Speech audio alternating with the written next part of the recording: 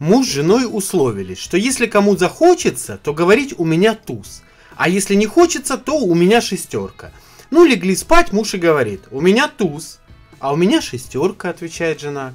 Муж обиделся такой и отвернулся к стенке. Через некоторое время уже жена, а у меня туз. А у меня шестерка, отвечает муж. Жена откидывает одеяло и кричит, так у тебя же туз. Нечестно это, в чужие карты заглядывать. Говорят, что после секса с хорошим любовником женщина мгновенно засыпает.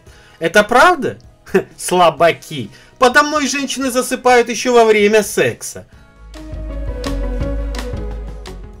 Объявление.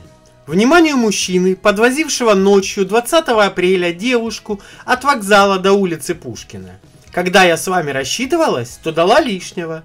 Обратитесь к венерологу. Привез муж жену в роддом. Увезли ее в палату, ему и говорят, когда начнутся схватки, мы вам позвоним. Как? И это все? А что вы еще хотели? Ну как что? Я когда тачку в сервис ставлю, мне на время ремонта другую дают. Один предприниматель интересуется у другого. Как тебе удалось добиться того, что твои сотрудники никогда не опаздывают? Очень просто. У меня работает 30 человек, а мест для парковки всего 20.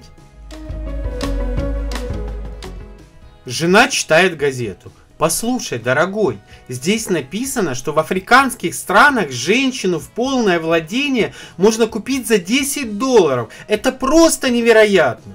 Почему это невероятно? Хорошая женщина очень даже может стоить таких денег.